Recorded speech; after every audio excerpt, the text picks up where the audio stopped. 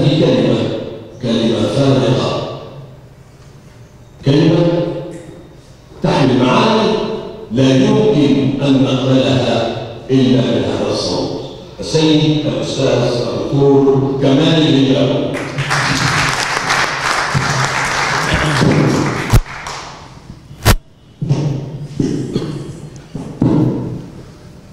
بسم الله والحمد لله. والصلاة والسلام على رسول الله وعلى آله وصحبه ومن والاه. أيها الإخوة والأخوات السلام عليكم ورحمة الله تعالى وبركاته. أولا يعني أشرف بالدعوة الكريمة من المستشار الفضالي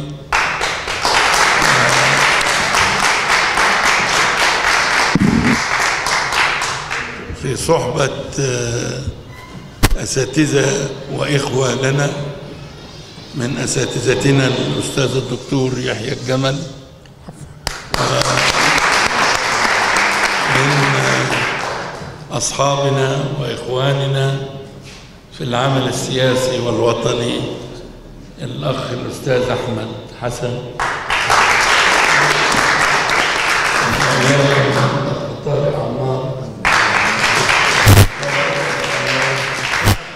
الأستاذ نجيب.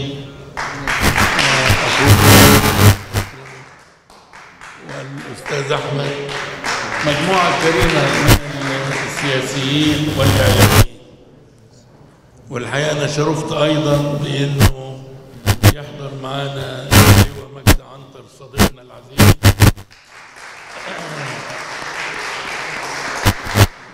والأخ الأنصاري خالد الأنصاري.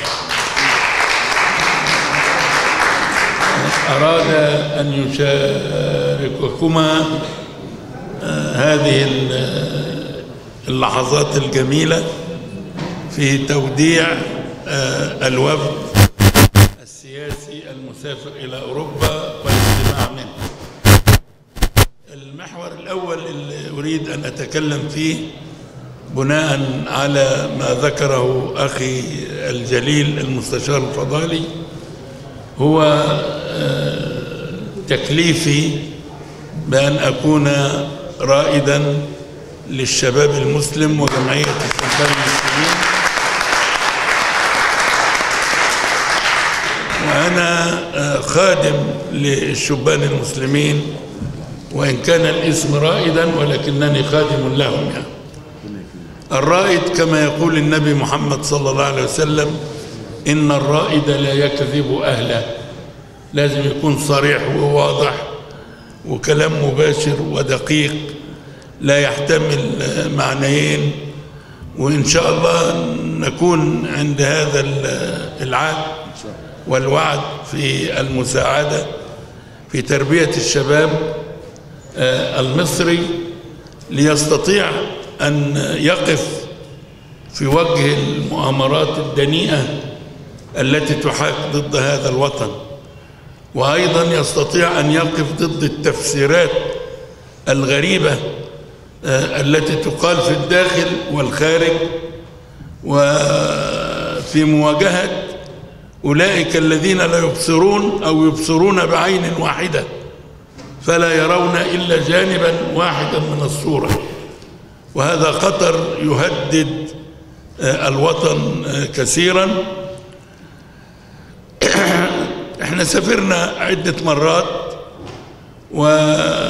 وقابلنا مسؤولين في حقوق الإنسان ومسؤولين في البرلمان الأوروبي وزارات الشرق الأوسط في وزارات الخارجية في البلاد الأوروبية. وكان هذا لشرح بعض المواقف الغامضة التي تستعصي على العقل الغربي. رغم أن العقل الغربي ساهم اسهاما جميلا في الحضارة الإنسانية المعاصرة إلا أن هذا العقل يعجز في كثير من الأحيان. فمثلا أنا أرى أن العقل الغربي عاجز عن أن يقول كلمة حق في قضية كبيرة زي قضية فلسطين. لا تخفى على طفل ولكنها تهمل من جانب هذا العقل الغربي. وأيضا هذا العقل الغربي الذي يزعم أنه يدافع عن حقوق الإنسان. أنا شاهدت بنفسي كم ارتكب جرائم ومذابح في حق الأفغان وحق العراقيين وحق السوريين. وحق الصوماليين وحق اليمنيين. الطائرات بدون طيار. وكان يريد أن يرتكب نفس الحمقات في مصر. ولكن الله ستر ويسر للثورة المصرية ذلك الجيش العظيم الجيش المصري. فحمى هذه الثورة واستطاع أن يحضر يحضر الصورة الكاملة وأن آه، يمر بالبلاد في الفترة الانتقالية الثانية آه، عبر ممرات ضيقة ولكنها كانت آمنة. حتى تم إعداد الدستور وتم التصويت عليه كما تعرفون وشاركتم بنسبة كبيرة. واليوم نحن جميعا ننتظر الاستحقاق الثاني وهو الانتخابات الرئاسية بعد شهر تقريبا في مايو ثم الاستحقاق الثالث وهذا الذي يراه الغرب. الغرب يريد أن يرى حكومة منتخبة ويريد أن يرى رئيسا منتخبا وبرلمانا منتخبا. عندما قامت الثورة وتدخلت القوات المسلحة لحماية الثورة في 30 يونيو كما فعلت في 25 يناير آه، كان الغرب آه، مستعليا ولا يريد أن يقبل هذه الحقيقة. اليوم اليوم هناك شرع للعقلية الغربية في دول كثيرة وبدأت الصورة تتضح نوعا ما أمام العقل الغربي. قلت لهم في عدة مناسبات أنتم لا تقبلون تدخل القوات المسلحة ونحن لسنا أقل منكم. نحن نريد للحياة السياسية المدنية أن تزداد ولا نريد تدخل القوات المسلحة. ولكن ظروفنا الآن غير ظروفكم. إحنا في مرحلة انتقالية وأنتم عندكم حزبان أو ثلاثة أو أربعة أو خمسة على الأكثر كل منها يستطيع أن يحل محل الحزب الحاكم إذا فشل. أما هذه الصورة غير موجودة في مصر ولم يكن يستطيع أن يخرج مصر من أزمتها المحققة ومن تقسيم الوطن إلا القوات المسلحة بوقوفها وراء ثورة 30 يونيو.